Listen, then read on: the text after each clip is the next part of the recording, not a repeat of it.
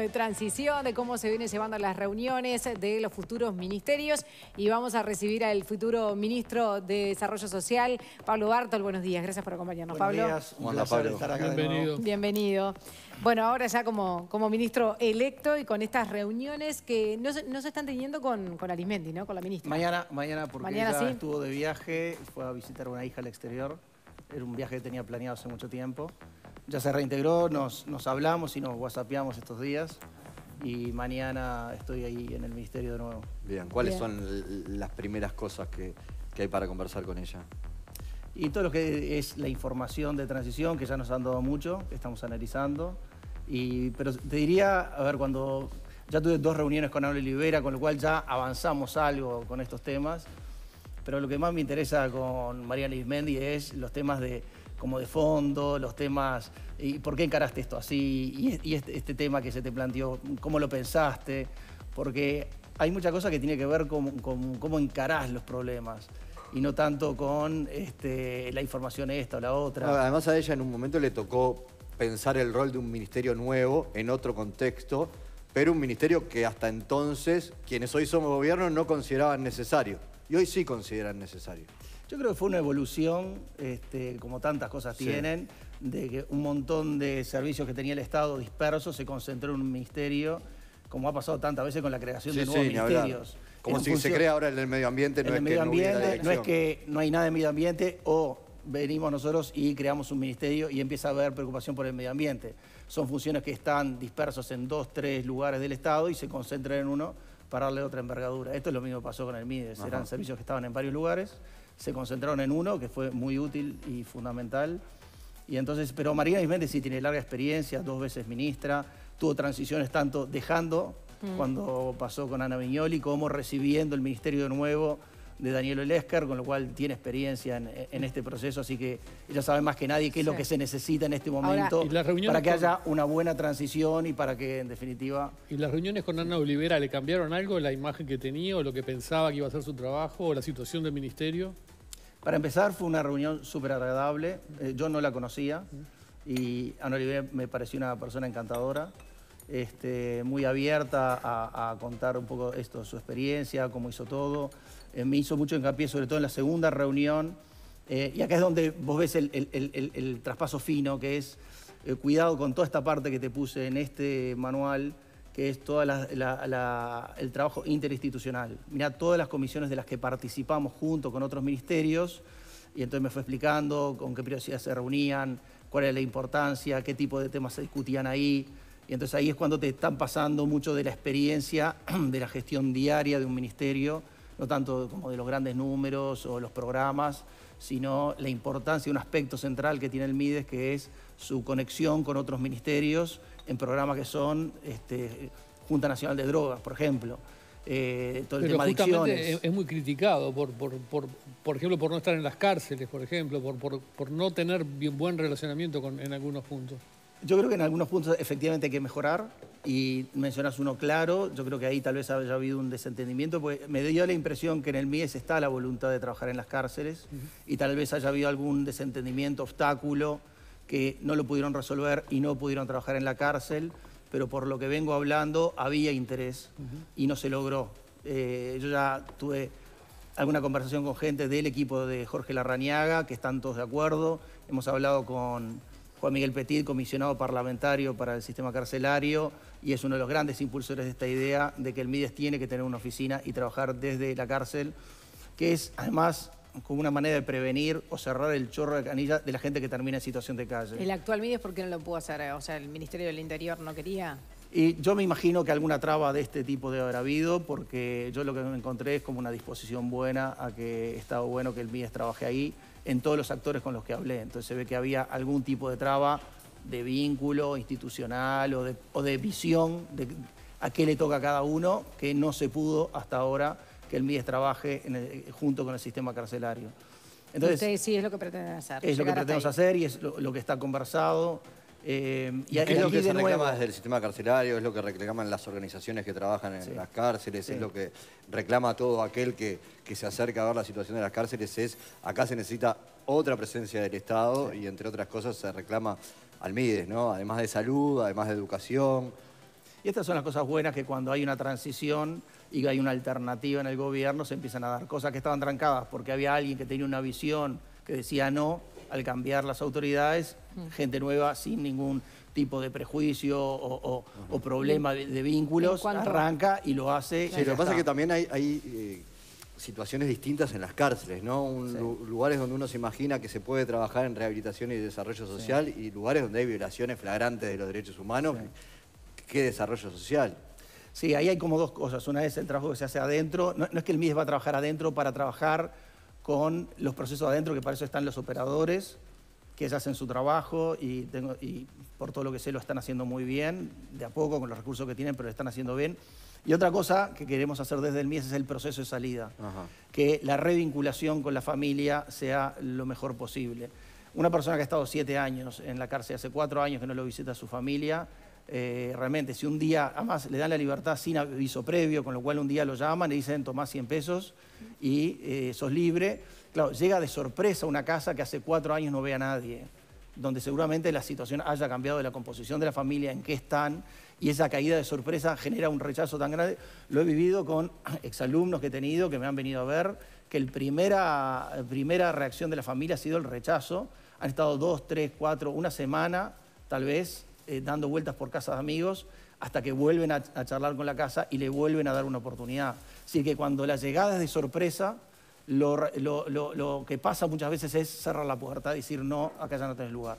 Después la familia recapacita, empieza a hablar, esos amigos de él que están viviendo van a ver a la familia, le hablan, le explican que salió en una buena, que está para colaborar, y entonces ahí hay una distensión de ese mm. shock inicial y se le abren las puertas, lo he conocido en muchos casos. A, a, todo, a la vida en general. Pero ustedes además hablaban de un programa que tiene que ver con, con esto, con, con, las cárceles, también con la situación de calle y con la problemática de las drogas. Sí. ¿Cómo lo está van a todo, Está todo, está todo muy Todo relacionado, pero ¿cómo lo van a trabajar? Porque recién dijo que, que, solucionar esto de las cárceles sería cerrar la canilla de la gente que está en la calle.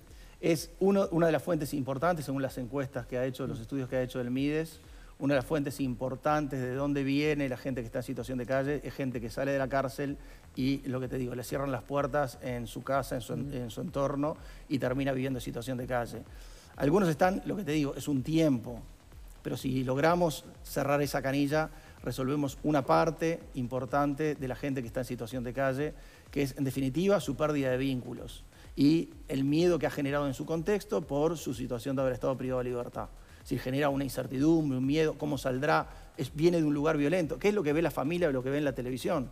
La cárcel es un lugar de violencia, ¿cómo llegará este que hace tres años que no lo vemos? Entonces, el trabajo del MIDES tiene que ser, por un lado, trabajar la revinculación, que la gente esté, mantenga esos vínculos con su familia y que antes de salir se haga un trabajo previo con esa familia para que haya una disposición a recibirlo. Solo el hecho de ir y llevarle noticias de en qué está, cómo está, qué piensa, qué, cómo piensa encarar su vida, ya es una cosa que va generando alivio en la tensión natural que hay el temor a que vuelve esta persona y cómo será cómo nos acomodamos de nuevo a tenerlo acá en casa. Quizás no todas las familias estén dispuestas a recibirlos, o quizás salen y no tienen familia, no tienen a dónde ir, o quizás la familia tampoco tiene un lugar para, para vivir. En esos casos se ha hablado también, y te, pregunté también por la problemática de drogas, de internación compulsiva, se ha hablado de viviendas autogestionadas que tienen experiencia en otras partes del mundo. ¿Qué, se piensa hacer? Eh, la DINAL y la Dirección Nacional del Liberado ya tiene un programa que se llama De Medio Camino, tiene unas 20 y pico de plazas nada más, es muy poco. Son pocas. Son muy pocas. la posada liberado. La posada liberado también le llaman. Entonces, esa es una, una solución buena para gente que está en esta situación y que efectivamente no lo quieren recibir para que mientras que acomoda su vida tenga una temporada ahí. Otra cosa que hemos hablado, que bien decís, son las viviendas autogestionadas. Esto en realidad es una solución que en el mundo se está viendo que da mejores resultados que el refugio tradicional. El refugio hay que entender que es una respuesta que dio la sociedad a una problemática que tiene una solución, pero que no acaba de sacar a la gente de e, e, ese, estado de, abandono en el que está. Y esa sensación de que de esta no voy a salir. Y lo que te dicen en, en todos los seminarios que vas, hace poco hubo uno en Facultad de Ciencias Sociales muy bueno, eh, que te explicaban que el, método de escalera, que es decir, bueno, primero que eh, deje la droga, después que, no sé, que después que consiga un trabajo y después vemos si le damos Ahí no pasa nada, va, duerme y vuelve En a esa escalera te va quedando por la mitad la gente en cada escalón, es decir, que es una escalera muy difícil de subir. no hay más remedio que alguien le des una llave y le digas, este es tu lugar en el mundo y sienta que acá tengo un lugar donde estar, que es compartida, que es con tres o cinco personas, con las que tiene que haber un acuerdo y te tenés que llevar bien. Pero hasta que tú no tenés un lugar en el mundo, es difícil que esos otros escalones los puedas subir. O eso lo hace muy poca gente. Entonces esto es algo que se ha estudiado, origen más o menos en, los países nórdicos. El, programa se llama Housing First. en todos lados se está empezando a aplicar. Hace poco estuve en Chile, me dijeron en un año ya queremos tener 1.500, empezaron hace poco, y quieren en un año tener 1.500 personas viviendo en este régimen. Eh, lo están haciendo de A3 en general. Entonces es autogestionada, no es como un refugio que hay alguien que manda y te dice apaga la luz, ahora comes, ahora... Es no es un régimen de, donde estás cuidado y controlado, sino que estás en, una situación de libertad total. ¿Y el presupuesto da para todo esto? Los estudios te dicen que, y, información misma del MIDES, este es un sistema mucho más barato que el del refugio. Eh, al ser autogestionado y no tener un montón de gente trabajando a disposición tuya ahí, es un sistema más barato. Y el cómo implementarlo, hay mil maneras. Hay algunos que les dan una transferencia y les hacen pagar un alquiler, les hacen pagarse todos sus gastos, pero que se vayan acostumbrando a pagar cuentas porque esta es la vida normal de todos, el pagar cuentas, tener un ingreso y pagar cuentas. Entonces, que no estén en una situación donde vives en algo que otro paga y la luz la paga otro y yo no tengo idea cuánto gasto, cuánto consumo y, cómo se gestiona ni siquiera un hogar, sino te doy una transferencia, pero tú acostumbrate a ir y pagar todas las cuentas. ¿Y, ¿Y qué tipo de condiciones? Porque ahí también hay gente que hoy tiene un acceso a la vivienda muy precario en otros contextos, que vive, sí, en un rancho, y que dice, mira, este que está en la calle y a este, este le van a dar una casa para... Porque están en la calle. lo, que te dicen que lo mejor es empezar por la gente mayor, adultos, mayores de 60 años tal vez, que lleven muchos años de calle y que realmente para ellos en este momento es muy difícil la marcha atrás. Es decir, reengancharse con otro sistema y entonces empezar por eso. Y así como hoy se puede decir que Uruguay es el único país de América Latina que no tiene ningún niño durmiendo en la calle en forma estable, puede haber situaciones, episodios pero no hay niños viviendo de manera estable. Nosotros queremos llegar después de cinco años a que se diga que en Uruguay no hay ningún adulto viviendo en la calle como hoy sí hay. Es decir, son pasos que tú vas dando para resolver los problemas con distintas estrategias. Y en esto, te digo, con, quien me parece que hay que trabajar mucho es con el colectivo que se ha formado de gente en situación de calle, se llama ANITEP. Y es gente en situación de calle que se ayudan unos a otros, que se han reunido, que tienen actividades muy buenas, hay un referente importante de todos ellos a través de un programa del Ministerio de Educación y Cultura, eh, se llama Walter Ferreira, lleva un, un, proyecto que se llama Programa Urbano, ahí en la calle Paraguay. Eh, hace actividades de tipo culturales dirigidas a situación de calle, aunque no es exclusivo para gente en situación de calle. Yo estuve a fin de año en la, en la fiesta de fin de año que hicieron ahí en la calle Paraguay.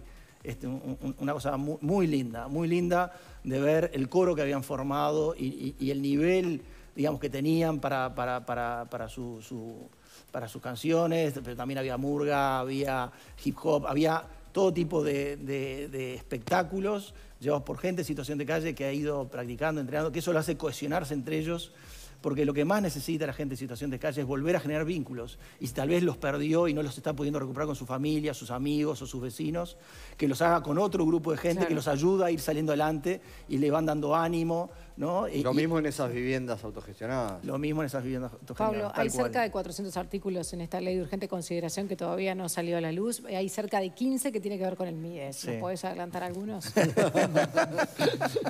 ¿Tú querés que me cuelguen? ¿Tú quieres que no asuma? bueno, alguno tiene que ver con la adopción, ¿no? Sí, sí, hay alguno que tiene que ver con la adopción, que es un, tema que lo mismo. Estuve con gente del MIDES en Chile, este, un programa que armó UNICEF y fue gente de MIDES, fue gente de INAU, también de la Justicia, Ministerio de Salud Pública, y fuimos uno de cada partido, viendo el tema del proyecto de desinstitucionalización de los niños. Es decir, que, de nuevo, la sociedad a lo largo del tiempo dio una solución a los niños que no, no tenían una familia que lo quisiera acoger, que fue eh, el hogar institucionalizado con funcionarios a cargo. Se supone que hay un tiempo límite para que esté a determinadas edades y eso pasa muchísimo. Están muchísimos años y entonces eh, en Uruguay hay 4.000 niños institucionalizados viviendo en instituciones a cargo de gente que es un funcionario que cobra por cuidarte en un horario determinado y con turnos y rotación. Eso tiene una lógica que lo que se ha visto en todo el mundo es que no ayuda a que el niño se integre plenamente a la sociedad. Es decir, que es una cosa que se le hace difícil después muchos procesos de socialización. Y que realmente cuando la otra experiencia, que es la de la adopción, es una experiencia donde el niño se integra plenamente en una familia y que siente un sostén afectivo mucho mejor que lo ayuda a salir adelante y desarrollar mejor su personalidad. Entonces, simplemente en todo el mundo se está viendo que hay que ir hacia una desinstitucionalización de los niños, lo mismo que en salud mental se ve que hay que ir a desinstitucionalización de las personas que están en salud mental, que no hay que ponerlos a todos juntos en un mismo lugar, que son soluciones, repito, que existieron en una época porque es la que se pensó la que se puso en práctica y la que se pensó que era mejor. Luego se va experimentando nuevas formas para salud mental, para niños que, que, no tienen una familia, para gente en situación de calle, que se ve que ese tipo de soluciones son muy limitadas y entonces se van experimentando nuevas. Y el MIDES mismo ya está experimentando todas ellas. Entonces lo que nosotros queremos es ahondar en esos proyectos que da la impresión que tienen una mejor solución que es lo que había hasta ahora. Ahora, cuando decía que una de las canillas era la salida de la cárcel, otra es el déficit de, atención de salud mental que tenemos. Sí.